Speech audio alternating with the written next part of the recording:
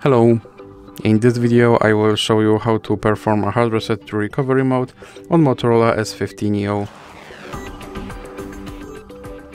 So you have to start by powering off your device, so open power menu and now choose power off option.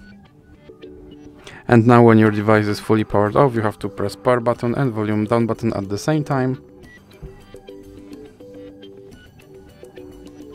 and something like this should pop up on your screen and now you have to navigate by using uh, volume buttons to recovery mode and then press power button.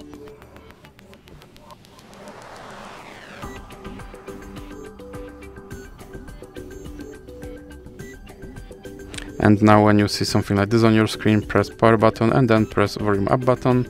And here you can use volume buttons to navigate and go to uh, wipe data factory reset and then press power button to select your choice and now go to factory data reset and then press power button again. Now your data is being formatted and now uh, your uh, data wipe is complete so now let's choose reboot system now by pressing power button and now your you should go back to your uh, system.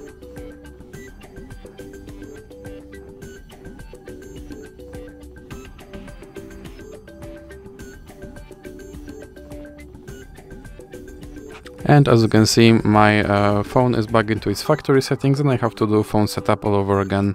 So that's it for this video. If you liked it, please remember to leave like and subscribe.